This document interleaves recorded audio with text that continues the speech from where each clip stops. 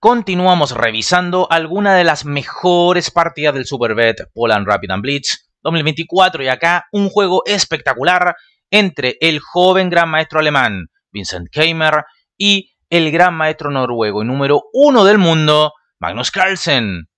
Este ha sido un juego espectacular, digno de ver y apreciar. Quédate hasta el final del video para ver tabla de posiciones actualizada y resultados de otras partidas. Prepárate entonces para ver y disfrutar de un gran juego. Aunque antes de aquello, recordarte que en nuestro sitio web hay una serie de cursos esperando por ti. Bien, sin más, comencemos. Abre el juego Vincent Keimer con caballo F3. Responde Magnus Carlsen caballo F6. C4, E6, B3, D5, alfil B2, alfil D6. Esto es ya, por transposición, una apertura inglesa. G3, enroque, alfil G2, torre E8. La idea de las negras es jugar E5, controlando el centro. Así es que D4 juega Keimer, anticipándose a su rival. B6, enroque, alfil B7, caballo C3, D por C4, abriendo la diagonal para su alfil de B7, B por C4. El alemán logra consolidar un centro interesante de peones. Caballo BD7, por supuesto hay que preparar en buenas condiciones el avance C5. Dama C2, C5, D5, E por D5, C por D5, A6, evitando saltos de caballo a B5. Peor era caballo por D5, pésima jugada, ya que las negras no solo no ganan peón, sino que pierden material, luego de caballo por D5, alfil por D5 y torre a D1 y se atacaría a los dos alfiles. Tras alfil por F3, digamos que esto no ayuda por alfil por F3, y se ataca tanto a la torre de A8 como al alfil de D6. Podría continuar torre 6, torre de 2, dama F8, alfil G4, torre a E8, torre FD1 y habría ataque sobre la torre, sobre el alfil y sobre el caballo. Las negras estarían casi para abandonar.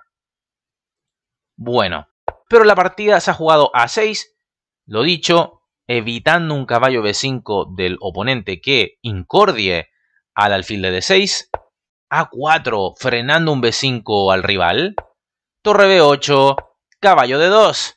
La casilla C4 luce apetitosa para este caballo, aunque también esto podría estar sirviendo para jugar E4 en excelentes condiciones. Sigue esto con alfil E5, e4, b5, a por b5, a por b5, caballo por b5, alfil por d5. No es un sacrificio de piezas, sino que descubiertamente se ataca al caballo blanco. De esta forma, las negras recuperarán el peón. O más bien ya lo han recuperado, ¿no? Sigue esto con alfil por e5, caballo por e5, e por d5, torre por b5. De pronto la partida comienza a desequilibrarse. Torre Fe1, C4, torre A D1, G6, caballo E4, caballo por E4, torre por E4, dama B6, torre 2, F6, H3, rey G7, rey H2.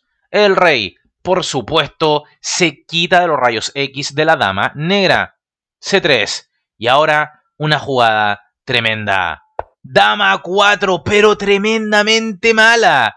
Esto se deja un truco táctico a la descubierta con caballo F3 jaque, seguido de torre por E2 y dama por F2 jaque. Acá se debía jugar torre E3 y luego de un torre B2, dama por C3.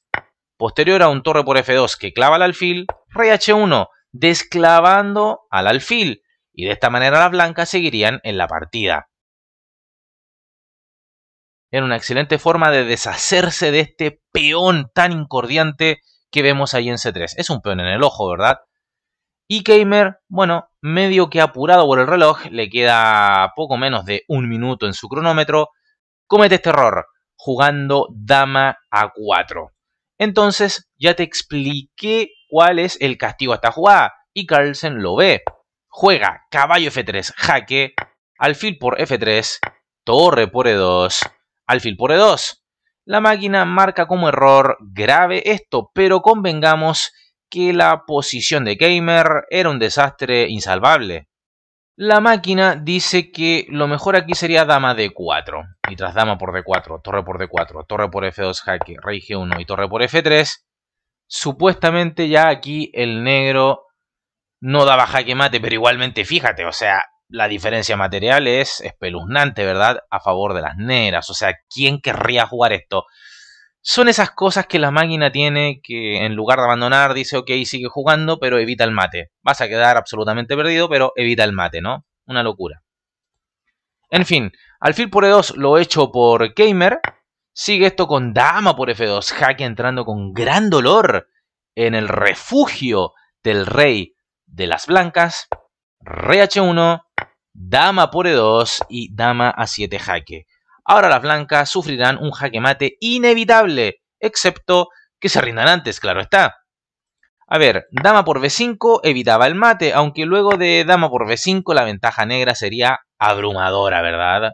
Y además, este peón C va a avanzar y va a comprometer muchísimo a esa torre. Las blancas van a perder la torre en unas pocas jugadas más y no hay mucho que hacer. Es decir, tú dirás, bueno, se puede jugar de 6, pero existe este bonito dama c6 jaque y luego de un rey h2 te meto el peón ahí en c2 y ¿qué haces, verdad? ¿Jugar un pasivo torre c1? ¿Qué haces? Por ejemplo, torre c1 ya, pensando que si dama por d6, entonces un torre por c2. Pero puede venir simplemente un dama c3, seguido de un dama de 2 jaque y se cae la torre, ¿verdad? Bueno, volvamos a la partida. Dama 7, jaque. Rey H6 juega Magnus Carlsen. Dama D4, Dama F3, jaque. Y ante esto, Vincent Keimer abandona la partida. ¿Por qué? Porque luego de, por ejemplo, Rey G1 seguiría Dama por G3, jaque. La posición de las blancas es un completo desastre. Rey F1 y Torre B2 para continuar con Dama G2, jaque mate. Y tras dama G1 seguiría dama F3 jaque, dama F2 y dama por F2 jaque mate. Excelente victoria de Magnus Carlsen ante un fenomenal jugador como lo es este joven gran maestro alemán llamado Vincent Keimer. Muy bien por Magnus Carlsen. Y bueno, ¿qué tenemos? Tenemos que Wei Yi es el líder, jugadas ya las 10 primeras rondas que son a ritmo de rápidas. Ahora vienen el formato a doble ronda del Blitz y se suman los puntos. No es que Wei Yi haya ganado el torneo, sino que es un torneo que mezcla rápidas y Blitz, ¿ok? Entonces, Wei Yi, primer lugar hasta ahora con 13 puntos. Segundo, Magnus Carlsen con 12. Pragnananda tercero con 10. Así es que el resto de jugadores lo puedes ver tú mismo, no tengo ni para qué mencionarlos.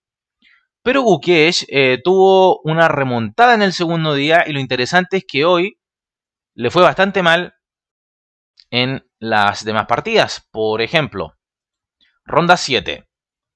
Tenemos que Gukesh hizo tablas con Eri Gaisi. En la octava tuvo una derrota contra Weiji. Y en la novena tuvo una derrota contra Jean-Christophe Duda. Por lo tanto, Mal torneo para quien es el retador al título mundial. ¿Será que está cansado? ¿Qué crees tú? ¿O realmente no es un digno retador al título mundial? Puedes expresarte libremente allí en la bandeja de comentarios. Espero hayas disfrutado de este video al igual que yo. Y si es así, apóyalo con tu like. Suscríbete al canal. Si aún no lo has hecho, por supuesto invita a otros a conocer nuestro canal y suscribirse. Por supuesto, agradecer a los miembros del canal, ya que gracias a ellos es posible subir contenido de manera seguida al canal. Y como siempre me despido enviándote un fuerte, caluroso abrazo. Nos estamos viendo en el siguiente video. Hasta luego.